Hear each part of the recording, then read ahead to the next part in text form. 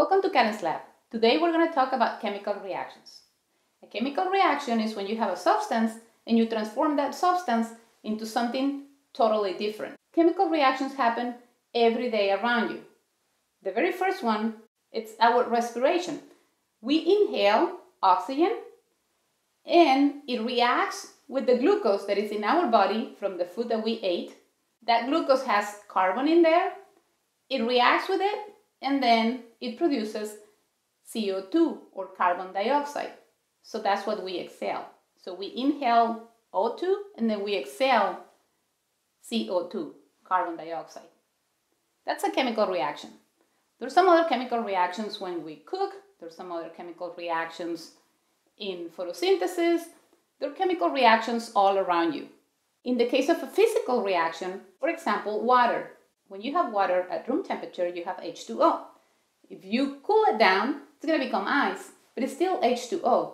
If you heat it up, it's going to become vapor, water vapor, but it's still H2O. You can go back and forth between different states of matter, but it's still going to be H2O. There is no chemical change, it's only a physical change. Let's do an experiment where we can cause a chemical reaction. We're going to combine hydrogen peroxide. This is a concentrated hydrogen peroxide. And we're going to combine it with potassium iodide.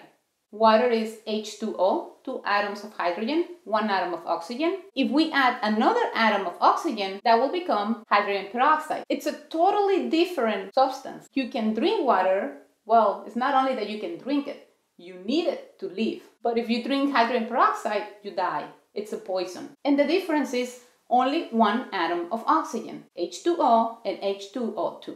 That extra atom of oxygen makes it a completely different substance. Our chemical reaction is called the elephant toothpaste, and we're ready. We have all safety measures. The Lego men are protected with shields. We have an ambulance.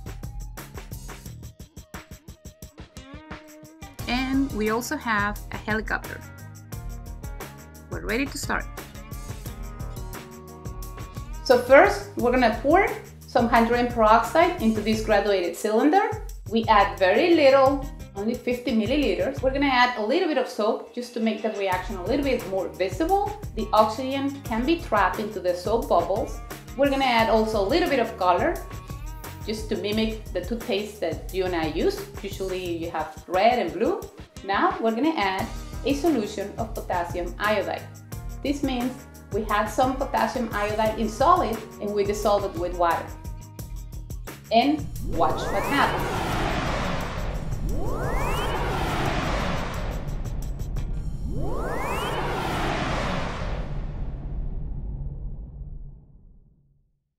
we had very little liquid and now we have a lot of this substance, a lot of this foam.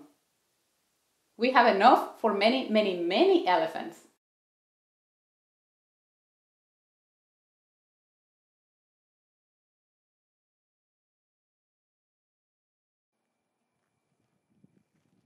We're back now. Did you like the chemical reaction? Let me tell you what happened. We had the hydrogen peroxide, which is the H2O2, we added the iodide. The iodide helped to catalyze this reaction. So this is basically what we had at the end. The hydrogen peroxide resulted in water, oxygen, and heat. The oxygen was trapped into the soap bubbles and it allowed it to foam even more. What other applications can you think of? Have you thought about how is that airbags work? The airbags have a chemical that in the case of an impact the sensor sends a signal, it ignites that chemical and it produces nitrogen, or it liberates nitrogen from the molecule of that chemical and it inflates the bag. What other chemical reactions can you think of that could actually result in an application that could benefit society? Let me know, I'm pretty sure you have tons of ideas. See you next time.